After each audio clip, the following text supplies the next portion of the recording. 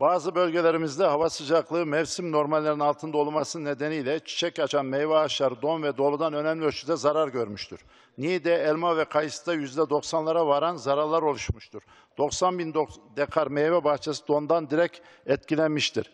Tek geçim kaynağı olan bahçecilik yapan mağdur üreticinin zarar tespiti bazı bölgelerde yapılmaktadır. Bir an önce üreticilerin ürün kaybı üzerinden destek sağlanmalıdır. Borçları ötelenmelidir.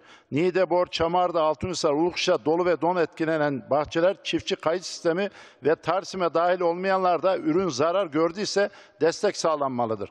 Erken uyarı sistemleri ve üretici bilinçlendirme eksiklikleri bu mağduriyetlerin oluşumunda bir nedendir. Hükümet üreticilerin mağduriyetini bir an önce gidermelidir.